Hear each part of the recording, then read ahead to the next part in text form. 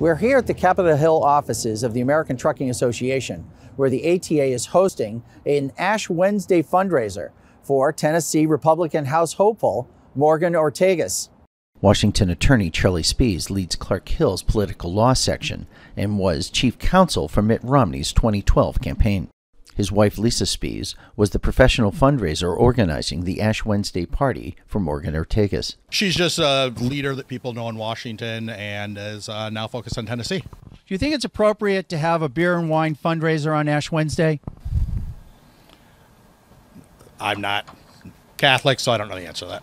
Texas Republican Congressman Dan Crenshaw was one of the official hosts for the party. She's got the experience. Um, she's a friend. I know her. Uh, so you know that matters a lot when you support somebody. Uh, you got to know their soul. You got to know their character, and she's got it. She's got amazing experience under the Trump administration, uh, working directly for Mike Pompeo, and uh, really implementing what I would call a very highly rational foreign policy.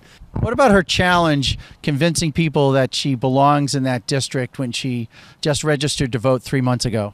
The, the, the people of Tennessee will, will figure that out. I mean, as far as she's from Tennessee. You know, it's just like I'm from Texas. Thank you. Another attendee was Morgan Viña, who was UN Ambassador Nikki Haley's chief of staff. Morgan is a good friend. She represented the administration.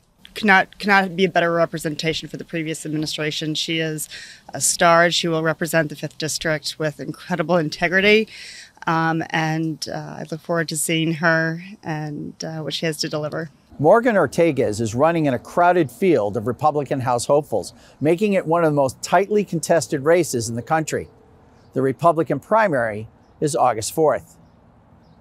Reporting for the Star News Network, this is Neil W. McCabe, Washington.